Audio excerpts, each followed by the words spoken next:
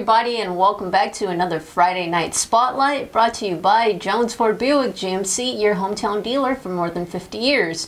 We are finally in the playoffs for our bigger schools. Uh, lucky for us, we have three 4A schools competing um, to try to win a state championship. And we're going to kick things off with our lower seed, and that is number six, Apache Junction, hosting Kingman Lee Williams. Now, Apache Junction got a pretty big boost with their uh, regular season finale against Trevor Browne. They were around eight, nine seed, and they got bumped up to the six seed. So, David, what are you expecting from from the prospectors in this game? Yeah, that big bump really shows what it means to, to beat a 6A team, and they did so pretty well. They had a couple up and down times in that game. You know, they were they were up by 18 at one point, and then all of a sudden they were only up by three, but then they're able to get it back and get the win. So the, the prospectors, to me, they're, they're like a hybrid team. You know, they're they're both built to win now, but also built to win for the future. Because we look at these three main guys that, that Coach Binkley has been talking about forever. It's Gavin Lamangelo at quarterback, it's Isaiah Savoy at running back, and it's Garrett Garcia at wide receiver.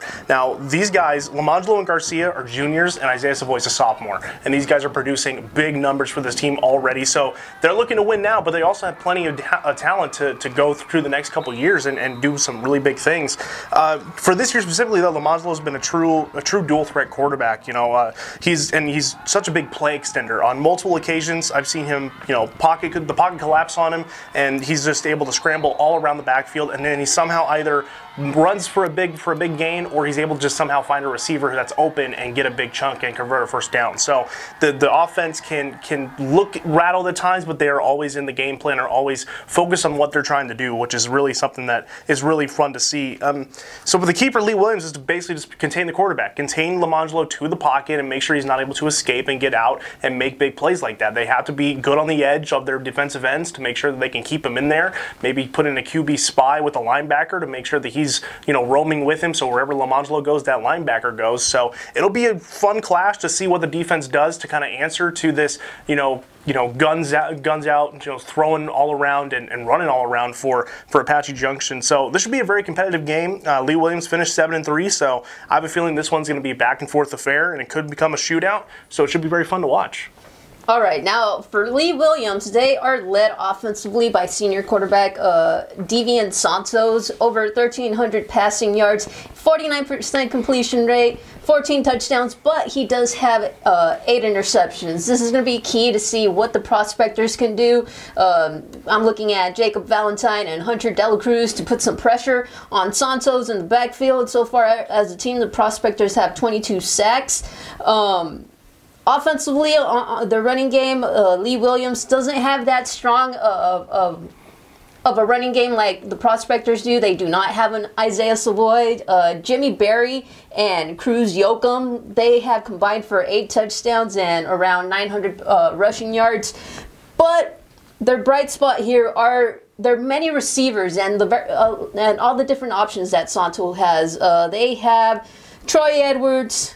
Um, Angel Larios, Devin White, and just a bunch of these other guys who have from 500 to 100, a little over 100 uh, receiving yards. So it's going to be interesting to see what this prospectors defense can do to shut down all of these guys and limit what Santos sees down the field. David, is there anything else you would like to add about this game? Just again, uh, hope for a great fun match. It should be really interesting to see which team can be able to come out on top, and we'll hope for a good for a good one Friday night. All right, and our next playoff game is number two, Casa Grande Union hosting number 15, Deer Valley. CG Union is coming off of a bye uh, this week. They went undefeated in the regular season. They finished 9 and 0.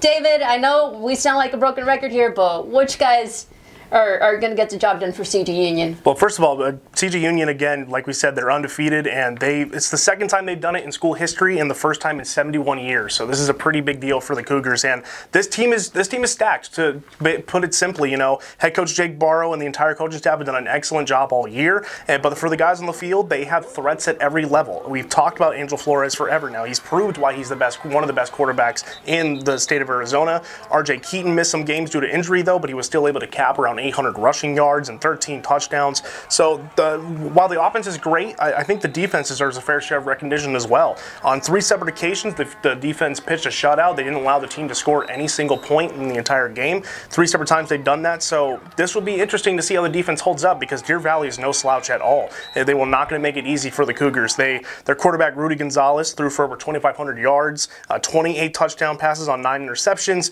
So and they have a dangerous receiver corps. Uh, they have Tanner Bovich, uh, Ty Thomas, and Jordan McKee. They have all exceeded over 400 receiving yards. So Gonzalez has multiple weapons that he's able to go to if one of them gets shut out or double teamed. So this should be a really fun one. Uh, the Cougars are going to have to protect uh, and protect that passing defense as well. So this team likes to throw the ball, and they're going. So CG Union's going to have to be able to counteract that with some good uh, quarterback passes of their own on offense, and also see if Angel Flores can get it going with his feet. Because like we've said, dual threat quarterbacks are, are the way of the future in, football. So uh, CG Union is going to have to be ready for this one.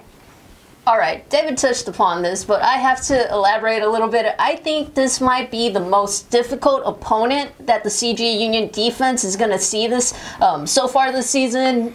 Unfortunately, their their uh, regular season schedule was a bit soft, except for one or two opponents. Uh, David mentioned Rudy Gonzalez, but you also have to point out running back Ashton Hill.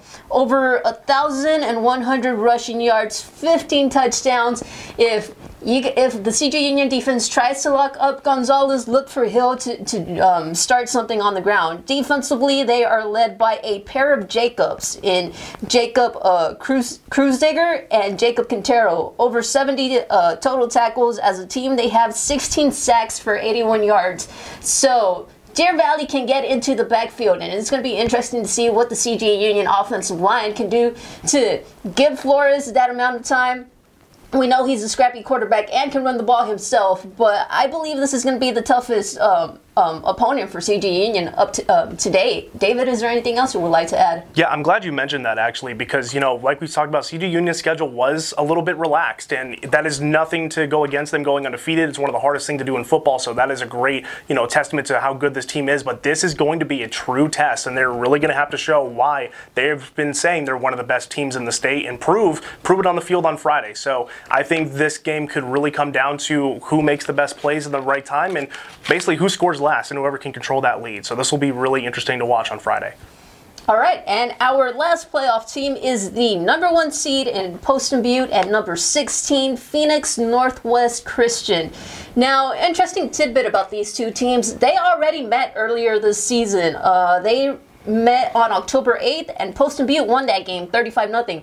David, I'm assuming um, Northwest Christian is going to be a little more prepared to handle the Broncos this time. What do you expect from them? Yeah, definitely. It always helps to be able to see a team in the regular season if you get matched up in the playoffs because you can go back to what they've done before and they were successful on. You can try to counteract that. So this one is going to be a real clash of styles for me, and I think because the Broncos' calling card all year has been running the ball and running the ball at will. You know, they are deep in the running back position, and then their quarterback Drew Dalmasio is more honestly sometimes better better as a runner than he is as a thrower. He, he threw for, uh, excuse me, he ran for 540, 54 rushing yards and 14 rushing touchdowns. So he is more known as one of those running style quarterbacks where he likes to do it himself. And if he's in the end zone, if he gets close to the goal line, he just he has a way to get into the end zone no matter what. He puts on all the moves to make sure he finds a way to get in there at any time. So this one's going to be interesting because the clash of styles here, like I said, Poston Butte is more of a running team, and while Northwest, Northwest Christian likes to throw the ball a lot, you know, they don't really have a great running uh, running running scheme there. So it's going to be interesting to see how these two offenses go against each other. Uh, like I said, the running back corps is deep with Poston Butte. They have about four or five different guys that can effectively run the ball for them if they need it. And then although Northwest Christian finished with a four and seven record, don't let that record uh, you know fool you. This this team has talent, and it's mainly in receiver Kyler Thruston. Uh, the Crusaders receiver corps as a whole finished with 1,739 rushing yards. Thruston attributed to about 35% of that. He finished with 603 rushing yards by himself. So this is going to be really interesting to see how the defense of Poston Butte is able to kind of counteract that receiving attack, uh, receiving attack from Thruston, and this will be really interesting to watch. I think it'll be really fun on Friday night. All right, now just real quickly going back to that October 8th game, uh, the Poston Butte defense limited Northwest Christian to 133 total yards of offense.